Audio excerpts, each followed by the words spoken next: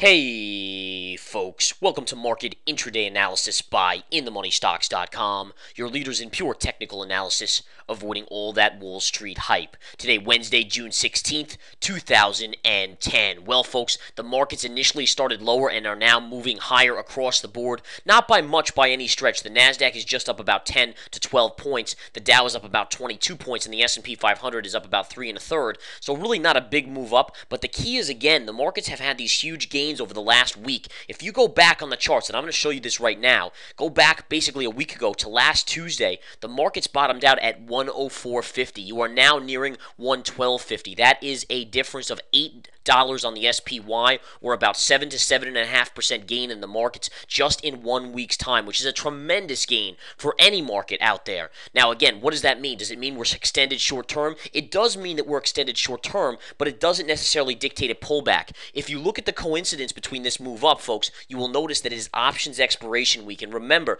the deal with options. Institutions sell the options to the individuals. All right, so they're selling puts and calls. What they want is wherever the majority of options options are, whether they're more puts or more calls, they're going to try to st- push the market in the opposite direction of those. So, in many instances, because the market was so negative about a week to two weeks ago, every amateur out there, every retail investor was buying puts. Therefore, it's by just common sense and understanding psychology, the market should move up in the opposite direction, and that's exactly what we've seen. So, all those people that, if you go in the last two weeks or so, were buying puts on the market here, and we saw the drop down, they're all thinking they're in the money, they're buying more and more puts as the market looked like it was going to collapse and all the negativity was out there. Now all of a sudden, we're seeing that the market is not so much to the downside, in fact, moving up, and that's going to cause these options to expire worthless. And again, when expire worthless, when these options expire worthless, what do we know about those institutions? They're making the premium. They're making the amount that the premium was sold for on those options. So again, a game somewhat rigged in the options market. Oftentimes you'll see this going into an options expiration week, so it should not surprise anyone. And again, if you go to last week, I noted about some key levels on charts on various stocks that were leading stocks hitting major support.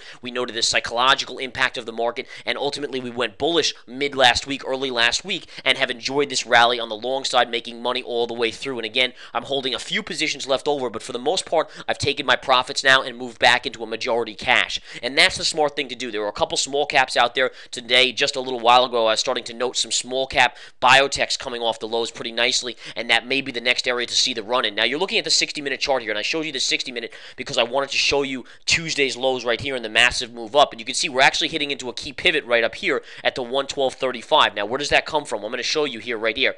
If we scan back all the way to the 19th of May, you can see this see this drop here and then the bounce. The high pivot right here on that bounce is actually at the 112.35 level. So that's what that resistance is. That level for a target for today was given out to the Research Center last night in the nightly video inside the Research Center, and you have full access to that if you're a Research Center subscriber, including everything else, including the Pro Trader watch list, hot charts and alerts, uh, technical tactics, daily market reports, and so on and so forth. All right.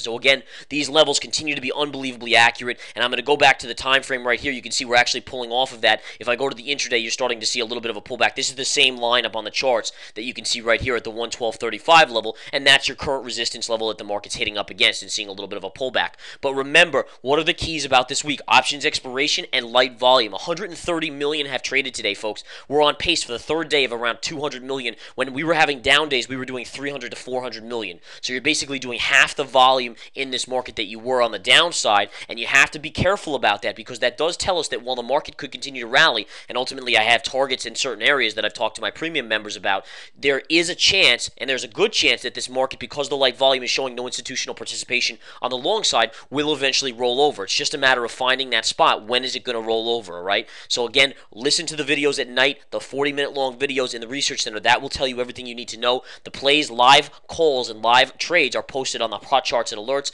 Watch lists are posted in the Pro Trader watch list. Everywhere you want, everything you want is available in that research center. And by the way, we have the big webinar this weekend, Saturday. Again, it's a five hour course, intensive training course on some of the key methodologies that we utilize. And again, they do continue to work. You can apply all those methodologies to work immediately come Monday after that webinar. All right, now let's talk about a few other things. What's driving this market up today? Is it commodities? Well, let's take a look. Take a look at the USO. The USO is up today, so you do see oil inching to the upside. Oil was basically flat early on, but ever since here, you can see the market starting to move up in oil, and that's taking a little bit of a push. Now let's take a look at the dollar. The dollar is slightly positive, but really on the flat line. You can see the dollar is just chopping sideways. The interesting thing about that is that's telling us that again we're probably on support right here on the UUP, and the dollar index is the UUP right here. And there is a support line. These lines are very, very important to understand. You can see this pivot low right here, so you do have support. If this were to break, you're going to the 50 moving average on the dollar daily chart. Now, let's go over a couple other things. So the dollar is essentially flat today. Oil's getting a little bit of a rally as things again calm down. Remember, as things subside, as the panic subsides, people are going to start to say, well, maybe the economy, maybe the global economy is not as bad off because of Europe. That means if it's not as bad off, demand starts to come back in for commodities like oil, demand or at least anticipated demand. It's not true demand, it's just anticipatory. But if that's the case, then it's going to drive the price of oil up, and we're seeing that today.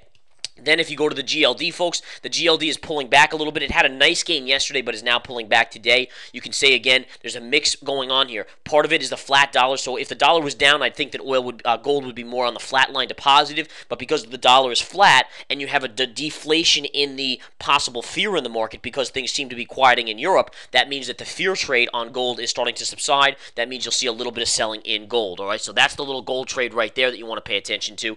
And then if we go to what's leading the stock besides the oil front, take a look at Goldman Sachs. Goldman Sachs, again, yesterday, huge move up yesterday. Let me shrink down this chart. You can see, look at this move up yesterday. And we talked about this, and actually about three days ago on Friday, I said after the big rally on Friday and the big squeeze, I said, listen, if we're going to really continue this rally, and even on Monday and so forth, if we're going to continue to see this upward momentum move, um, you have to see the financials participate. So far, it's been a commodity rally. You've seen stocks like AK Steel, US Steel, ExxonMobil, Chevron all get huge bounces. The financials really weren't bouncing. Some days, even Goldman was down when the market was up 2% or 1%.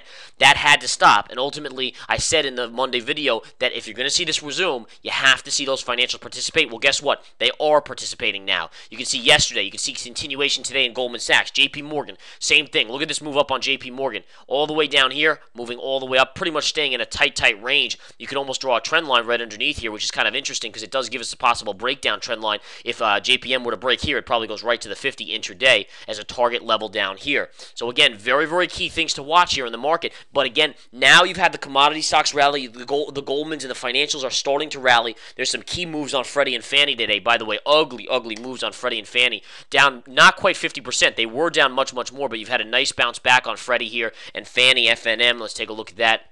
As you can see, big bounce, but the drop here bordered on over 50% at one point today as they were announced that they were going to be delisted. And again, remember, a lot of funds cannot hold delisted stocks in their portfolios, therefore they have to dump. And you see, you've seen basically 300 million traded on this FNM right here, and which is a huge, huge dump. I mean, it's, it's, it's an ugly move, but these have recovered off their lows at this point in the day. The markets as well. In addition, BP came out today and said that they were going to create a uh, escrow account for claims of 20, bil- $20 billion, like the president asked the stock was trading down lower. Once that announcement came out, the stock jumped up, and that's also helped give the market a little bit of a positive bias here in the late session or the mid afternoon session here. So, again, that's what we're seeing. If we go back to the spiders, guys, a couple other things I just want to point out. Again, notice the trend line. If you get through this 112.35 level, you're going to look for 112.55. That'll be just an intraday resistance. If you get through that, ultimately you'll see 113. Markets are short term extended, but it doesn't mean you're ready to pull back because it's options next week and because volume is dying out. There will be key levels and key trades announced announced here, folks. Again, when I start to take shorts or when I go in some long, small cap long plays, I will give those out in the hot charts and alerts. You need to be a member to get those. And those, again, we're basically batting 100% over the last couple weeks here in the market. Unbelievable money being made left and right. In all in all, enjoy the rest of your day. Make money. And again, I'll be making money in the intraday stock chat as well as in the research center. Have a wonderful afternoon, folks. I'll talk to you tomorrow. Take care.